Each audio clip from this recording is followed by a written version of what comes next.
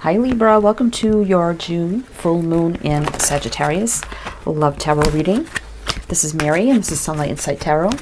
Thank you so much for stopping by and watching. If you're new or returning, welcome, welcome, and thank you. So, Libra, let's see how this full moon in Sagittarius energy will affect your love situation, no matter what it may be.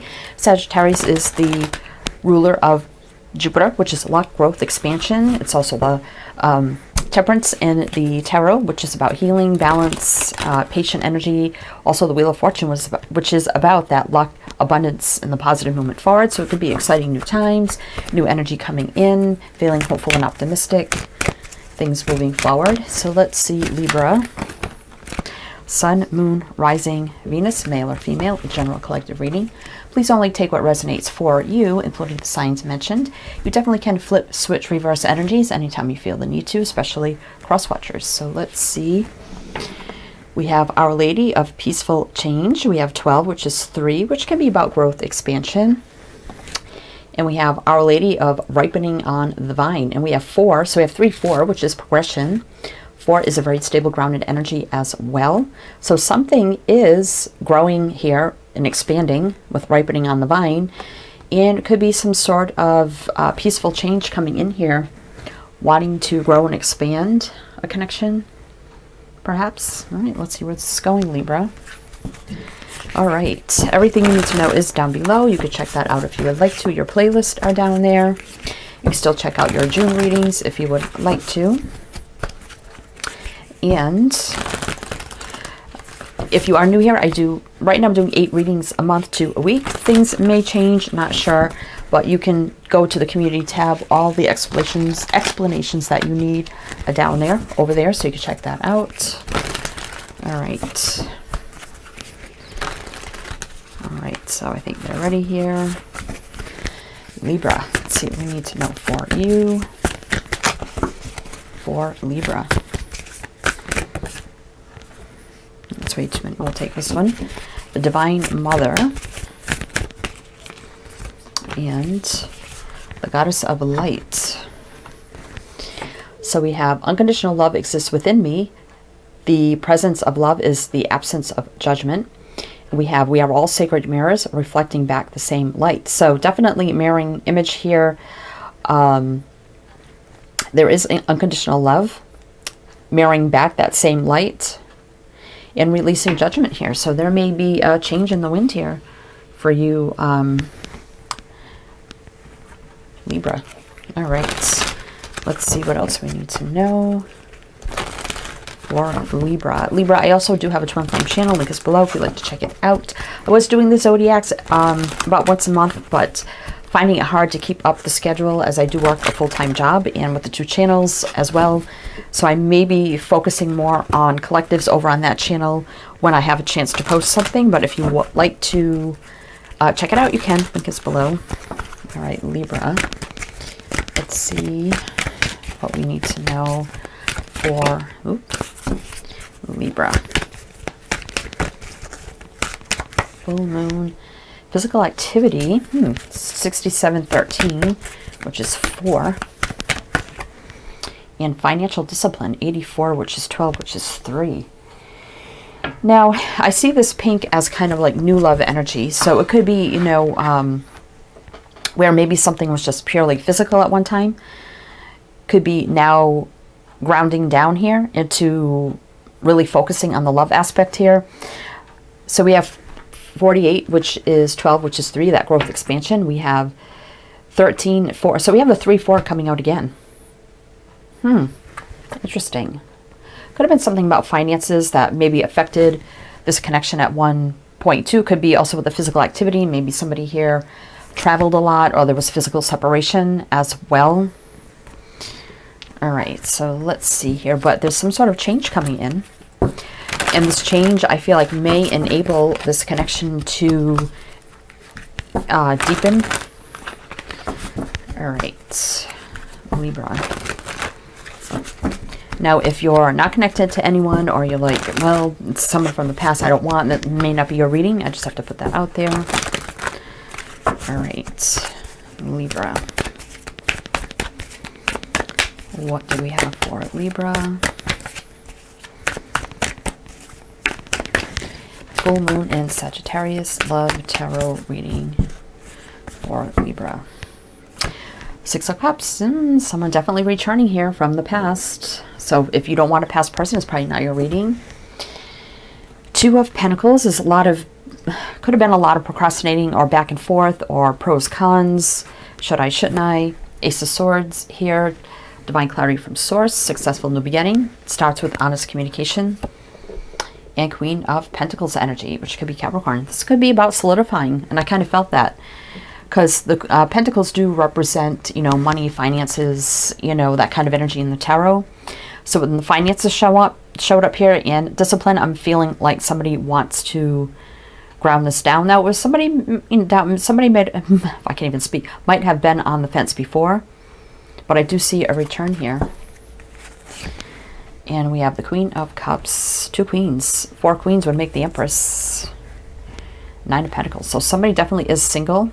I'm not really feeling like there's a third party here, but judgment, final release. And we have the judgment. Um, this card over here says absence of judgment. Hmm. All right. We have the chariot, positive movement forward. Knight of Swords. That's very quick. Two very quick energies here, happening very fast. Two of Swords. I feel like somebody was indecisive.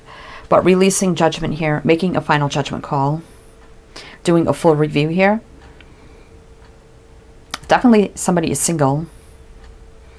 So I do see, uh, let's see now, I see Capricorn, Cancer, Scorpio, Cancer again, Aquarius. I feel like somebody here is making two twos about making a decision. That's what I feel. Judgment call, especially with the judgment call here. Truth, clarity, Knight of Swords carrying that Ace of Swords and coming in hot and quick about the love connection here as well. Definitely, if somebody was indecisive before, I definitely feel like now they want to kind of come in and solidify this connection now, I feel, with this Queen of Pentacles energy. Hmm. All right, so let's see what else we need to know for you, Libra.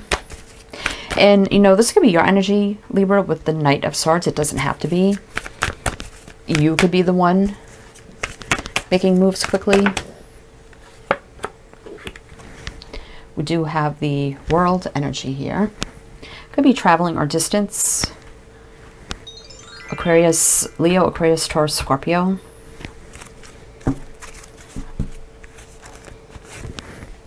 Eight of Cups. Somebody's been heavily thinking about this. Again, there could have been traveling or distance, or somebody turned their back for a minute here. Temperance, bringing soulmates together here. Somebody was on the fence or turned their back just for a minute. I think Temperance here is about soulmates coming together. Sagittarius energy. You know, that is about divine alchemy, peace, harmony, balance, patience, healing, maybe even past lives together. Knight of Pentacles. So this has been taking a while here. Taurus energy. And Death, Scorpio energy. So I definitely feel like here somebody's ready to, if it's been taking a long time, somebody knows that. It's time to transform the energy here. I think Temperance has been, Angels kind of been working with this person as well.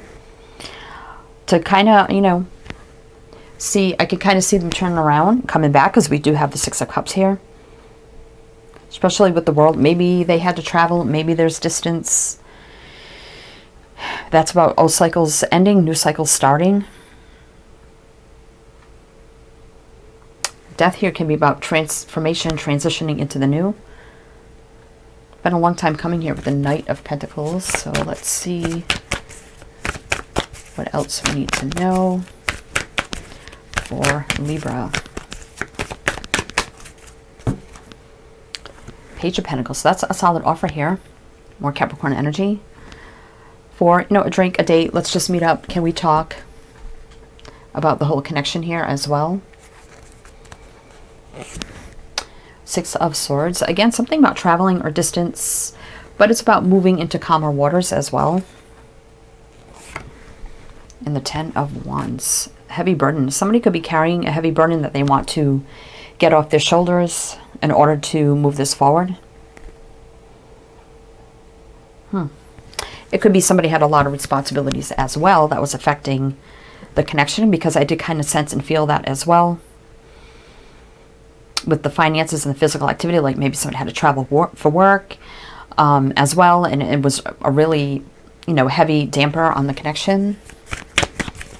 Could have caused a little bit of a separation or a disconnect between the two of you, if that resonates for you. All right.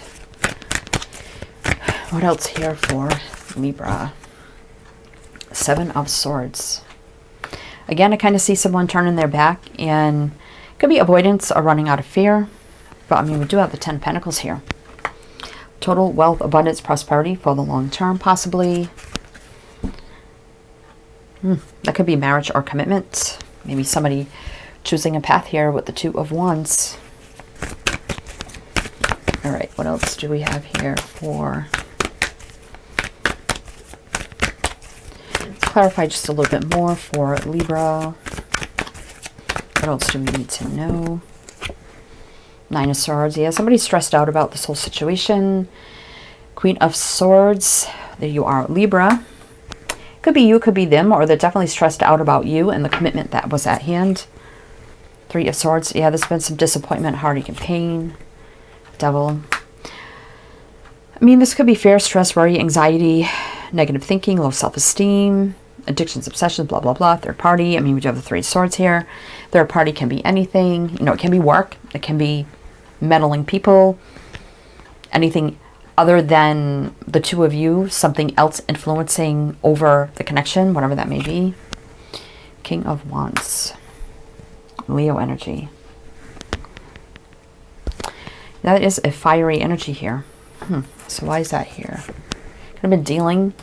They could have had someone around them. Uh, maybe it was a boss. It was very conflicting. Demanded a lot of their time and energy for uh, work. Moon. If they were working a lot, I almost feel like you thought they were hiding something. Pisces energy here with the moon. This king, I mean, it's Leo for me, but it could be a representative of the full moon in Sagittarius energy here. Page of Swords, Aquarius energy. Definitely about communication. So I definitely think honest communication needs to be had about commitment in the soulmate union. You know, whatever factors were affecting this, honest honesty will bring in success here and a new leap of faith, restarting, maybe starting over, fresh and new, breathing new energy into the connection as well. Aquarius energy. Now we have the King of Pentacles. So, I mean, we have two kings and two queens, kind of like halfway to the Empress and halfway to the Emperor. That's a Virgo for me. Ten of Cups, total happiness, joy, and fulfillment. Well, there's the Empress, Libra, Taurus, birthing of new energy. Again, two of wands, choosing that path. So I kind of feel like um, I do see this peaceful change. So whatever this change is, maybe somebody here is eliminating some sort of um, conflict or something that was intruding in their life that was affecting the connection, making that change, which brings peace into the connection, and now this connection can deepen. It's kind of what I feel here. So I feel like if there was, like I said, a disconnect or a separation due to other circumstances, uh, that will be, I feel that will be um, alleviated in some way. All right. So let's see, we do have Pisces here with the moon. I mean, that could be fear, illusion, fear of the unknown, fear of the path ahead, what's going to happen here.